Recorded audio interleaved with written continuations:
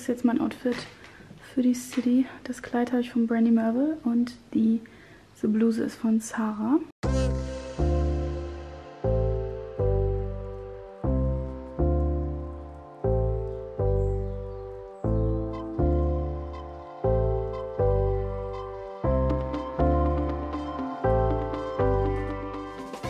So, ich bin jetzt wieder aus der Stadt zurück zu Hause. Boah, ich bin so kaputt. Ähm, wir haben uns irgendwie um 2 Uhr getroffen, jetzt haben wir halb neun. Wir sind hier den ganzen Tag nur durch die Stadt gelaufen. Ich habe ein paar Dinge gekauft bei DM. Ich habe es ihr gezeigt, also bei DM habe ich Pflaster geholt und ähm, richtig cool so wiederverwendbare Augenpads. Ich wusste gar nicht, dass es sowas gibt. Aber die schenke ich nur einer Freundin, weil da habe ich ihr nämlich so eine Einwegkamera geholt von Urban Outfitters. Ähm, wie süß sieht die denn bitte aus? Die fand ich so süß und es passt irgendwie auch farblich zusammen. Muss ich noch eine Karte holen oder vielleicht irgendwie noch ein Blümchen oder so. H&M Home habe ich mir einen Spiegel gekauft, den wollte ich schon so lange haben. Also generell einfach einen schwarzen Spiegel, damit ich mich auch so vielleicht einfach mal schminken kann. Und dann war ich noch, waren wir bei Zara Home und ich wusste nicht, also ich wusste, die haben da so, so Schlafanzüge oder so Oberteile und auch richtig süße Babysachen. Aber ich wusste nicht, dass die da auch Bademode haben. Leute, ich mir schon gar nicht zu sagen. Ich habe mir schon wieder ein Bikini gekauft. Ich kann wirklich, ich mache das nicht extra. Naja, auf jeden Fall gibt es ja keine Umkleider, deswegen musste ich das jetzt mit nach Hause nehmen. Man kann aber das halt umtauschen. Da habe ich einmal dieses süße Oberteil. Das fand ich so cute. Und da gab es aber leider nicht mehr die passende Hose in meiner Größe. Deswegen muss ich schauen, ob ich das behalte. Da habe ich einfach noch einen Badeanzug gefunden. Das finde ich eh so krass. Sieht der so aus. Und man sieht das jetzt nicht so genau in dem Licht, aber der ist dunkelblau und der ist so schimmernd, also so ein bisschen so, nicht Glitzer, aber ja, man sieht das jetzt echt nicht so gut. Deswegen, ich ziehe das jetzt direkt mal an und guck mal, ob das überhaupt passt. Ansonsten muss ich es zurückbringen. Und dann haben wir uns noch im Park gesetzt und Bubble Tea getrunken. Guten Morgen. Ich bin schon mega früh wach. Ich weiß nicht warum. Ich habe auf mein Handy geguckt und es war 6.45 Uhr. Ey, Leute, ich habe Ferien. Ich kann einfach nicht ausschlafen. Ich kann es nicht. Ähm, aber dann dachte ich mir ganz ehrlich, nutze ich jetzt die Zeit, um produktiv zu sein. Und habe ein bisschen an meiner Seminararbeit weitergeschrieben. Die muss ich nämlich nächste Woche abgeben. Jetzt habe ich mich gerade fertig gemacht und umgezogen. Der Rucks von Hollister, also Urteil von Zara. Und ähm, ich gehe jetzt zu meiner Freundin. Wir wollten heute nämlich so ein richtig nices Frühstück machen und wollten uns ähm, Pancakes machen. Dafür kaufe ich jetzt noch eben schnell ähm, Nutella und Beeren ein. Oh, ich freue mich, weil ich habe auch richtig Hunger. Pancakes sind immer eine gute Idee. Dann schauen wir mal. Ich habe gestern den Badeanzug anprobiert und er sitzt leider gar nicht gut.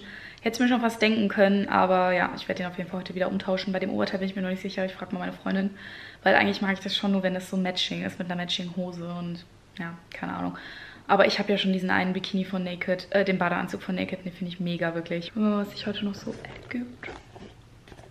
Und euch nehme ich natürlich mit.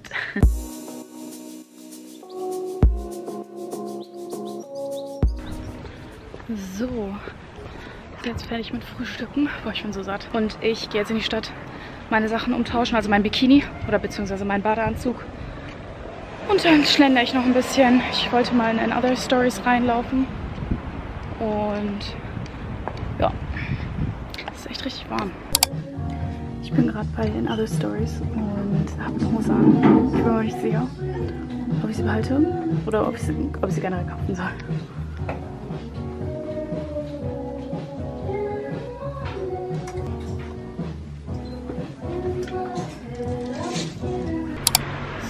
Bin immer noch unterwegs. Ich bin mittlerweile schon kurz vor vier. Es ist so heiß, ich will eigentlich nur noch nach Hause. Ähm, ich habe jetzt noch ein Paket abgeholt von der Poststation. Dann war ich noch bei Vielmann, weil ich mir vielleicht Kontaktlinsen machen will. Muss ich mir da noch einen Termin machen. Jetzt gehe ich noch rein. So, ich bin gerade auf einem Mental Health Walk. Ich hatte irgendwie, eigentlich wollte ich ins Gym gehen, aber ich habe es nicht gepackt. Keine Ahnung warum. Nein, ich habe mit einer Freundin zu lange FaceTimed. Weiß ich nicht, war mir eher nach Borg. Jetzt habe ich meinen Kopfhörer ins Ohr gemacht. Bin jetzt knapp eine Stunde sogar schon unterwegs. Guten Morgen. Wir haben mittlerweile Mittwoch. Ich habe mich gerade fertig gemacht. Ich gehe nämlich jetzt in ein Café mit einer Freundin und wir wollten dann noch ein bisschen lernen, beziehungsweise jeweils an unserer Seminararbeit schreiben, wir immer noch abgeben müssen. Ja, so sieht's aus. Wir wollten uns jetzt vormittags treffen.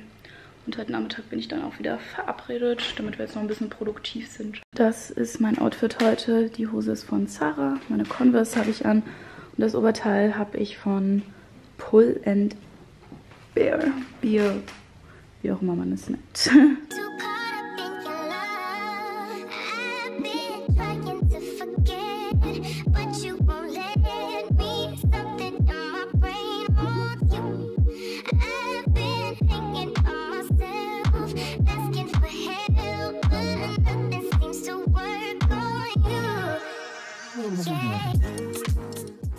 So, ich war jetzt immer ganz schnell zu Hause und habe mich umgezogen. Es ist irgendwie so warm draußen, weil ich treffe mich jetzt mit der Katamarie. Wir haben uns so lange nicht mehr gesehen. Habe mich nochmal, hab nochmal schnell was gegessen. Ich wollte irgendwie, ich hatte jetzt keine Lust, wieder draußen Geld auszugeben fürs Essen. Deswegen haben wir ein bisschen früher aufgehört mit der Seminararbeit. Dann bin ich nochmal schnell nach Hause und habe jetzt eben was gegessen, ich echt, ja, ich finde das manchmal so unnötig. Ich gebe manchmal in letzter Zeit zu viel Geld für so hier mal 5 Euro und da mal einen Tee und ich wollte gerade Kaffee sagen, ich trinke ja keinen Kaffee. Let's go. Ich glaube, ich fahre mit dem Fahrrad sogar. Krass. Normalerweise fahre ich eigentlich nur zum Gym mit dem Fahrrad, weil ich mich irgendwie nicht so ganz traue, in Wien Fahrrad zu fahren, aber das geht jetzt schneller. Ich muss mich echt entschuldigen. Dieser Vlog ist so chaotisch, also irgendwie filme ich gar nicht so richtig mittagsüber und immer nur... I don't know. Naja, auf jeden Fall, ich habe mich jetzt schon zum dritten Mal heute umgezogen. Crazy ist wirklich, das Wetter so komisch. Aber ja, ich mache mich jetzt auf den Weg zu einer Freundin, der ich letzte Woche beim Umzug geholfen habe. Und ich habe gesagt, dass ich ihr ein bisschen helfe, ja, ein paar Kommoden aufzubauen. That's the plan for now. Und vielleicht gehe ich später noch in eine Bar mit Freunden. So, wir haben jetzt, glaube ich, vier Stunden, einmal mit Kurzpause, diese Kommode aufgebaut. Es fehlen zwar immer noch drei Schubladen. Das machen wir mal das oder Joanna morgen oder so. Aber ich bin stolz auf uns, dass wir das so gut gemeistert haben. Guten äh, Morgen. Wir haben Donnerstag. Ich weiß gar nicht, wie lange dieser Vlog schon geht und ob der überhaupt gut ist.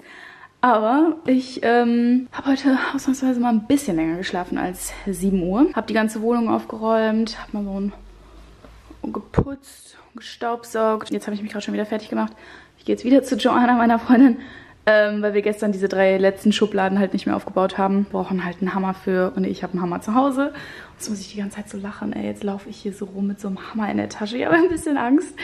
Aber ähm, ja, ich gehe jetzt eben schnell zu ihr. Danach muss ich dann noch eben schnell äh, eine Geburtstagskarte holen und äh, Geschenkpapier, ich bin heute Abend auf den Geburtstag eingeladen. Und dann kommt eine Freundin später zu mir. Richtig cool. Die ähm, habe ich in meinem Au-pair-Jahr kennengelernt. Die war nämlich auch Au-pair in L.A. Und letztes Jahr, als ich in L.A. war, haben wir uns auch nochmal getroffen. Und jetzt kommt sie nach Wien für zwei Tage. Und nach dir zeige ich ihr ein bisschen die Stadt. Wir gehen heute Mittag was essen. Ja, deswegen habe ich auch ein bisschen hier aufgeräumt. Aber es war immer Zeit. Aber jetzt gehe ich zuerst zu Joanna und dann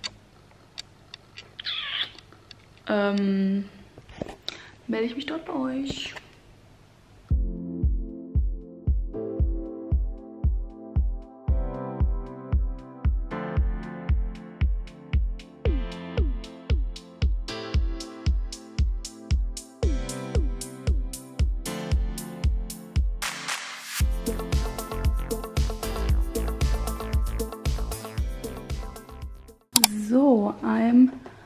Ready to go.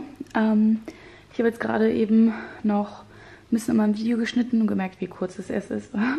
Ich glaube, diese Woche kommt ein kurzes Video online, ähm, weil ich einfach nicht so wirklich viel gefilmt, aber ich habe auch irgendwie nicht so viel gemacht diese Woche. Naja, auf jeden Fall habe ich mich jetzt ready gemacht. Ich gehe auf den Geburtstag von einer Freundin.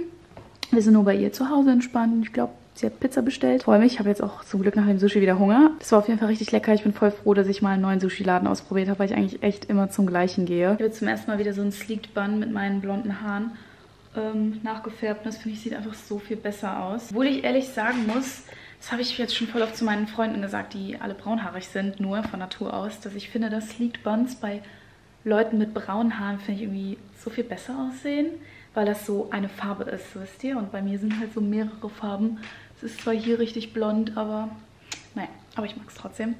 Und da ich wahrscheinlich heute die Haare waschen muss. Ich bin die ganze Zeit am überlegen, weil ich am Samstag auf dem Boot bin, auf der Donau. Und es wird richtig heiß und ich denke die ganze Zeit, springe ich ins Wasser mit meinen Haaren oder nicht? Dusche ich? Also wasche ich jetzt meine Haare oder nicht? Ja, the struggle is real.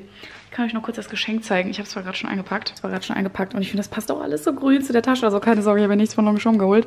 Aber ich habe ja ähm, bei Depot mal wieder das süßeste Geschenkpapier geholt. Und dann habe ich das hier so richtig cute eingepackt mit so zwei verschiedenen Schleifen. Da steht auch so Happy Birthday drauf und da ist so Klee drauf, so Glücksklee. Und dann habe ich hier, hier diese passende Karte dazu geholt und noch so, ähm, ja, zwei Kerzen.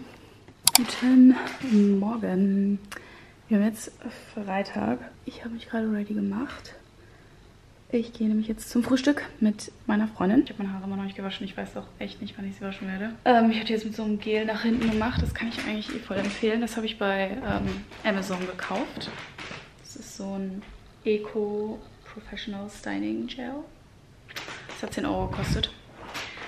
Ähm, das finde ich ein bisschen nicer als das, was ich davor hatte von DM, weil das ähm, ist nicht, wird nicht so hart irgendwann. Okay, I'm ready for the day. Ich habe heute wieder bis 6.45 Uhr geschlafen. So, was ist das? Ich kann es nicht. Ich, ich sag Leute, ich kann nicht ausschlafen. Das dauert mega lang, bis ich jetzt wirklich in diesem Dreh drin bin, dass ich früh aufstehe. Äh, dass ich lang schlafe. Gut, so ist das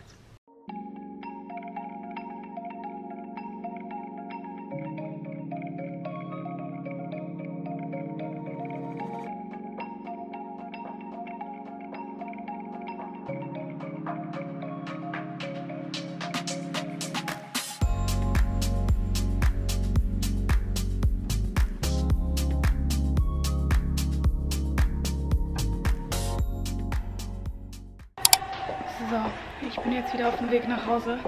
Leute, ich bin so fertig. Ich muss so einen dicken Nap machen. Wir sind irgendwie halb vier und ich bin seit 9 Uhr unterwegs und seit 6 Uhr wach oder 7. Aber wir waren ein bisschen shoppen und ähm, haben noch was getrunken. Und jetzt gehe ich nur nach Hause. Hello.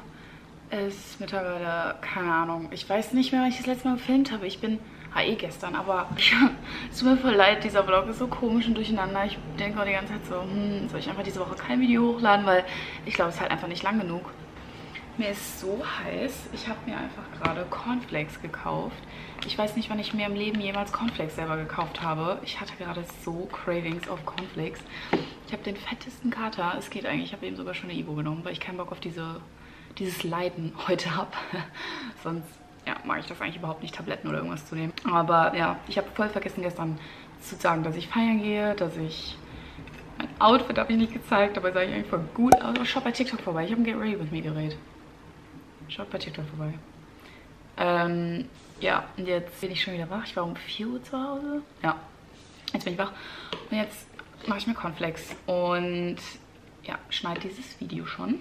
Ich gehe später wahrscheinlich noch an die Donau. Ich wollte, eigentlich wollten wir heute ein Boot mit Freunden mieten, aber ich weiß immer noch nicht, ob das jetzt zustande kommt oder nicht. Naja, boah, mir ist so heiß und ich lüfte, aber es bringt überhaupt nichts. So lang kann ich ja nicht mehr lüften, weil wir schon 24 Grad haben und es dann so heiß ist. Hallo, ich wollte mich nochmal melden. Ich habe jetzt heute Morgen mal meine Nägel gemacht und meine Fußnägel. Ich muss mich jetzt wirklich mal ein bisschen mehr noch an die Hausarbeit setzen, also Seminararbeit. Ich habe zwar nur noch anderthalb Seiten zu schreiben, aber ich muss halt auch noch Quellenverzeichnis machen, das alles durchlesen. So.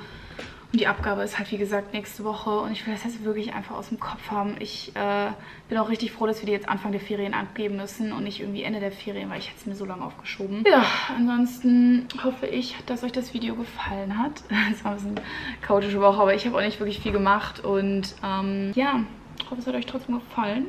Und hoffe, dass es euch gut geht. Und würde sagen, bis zum nächsten Video.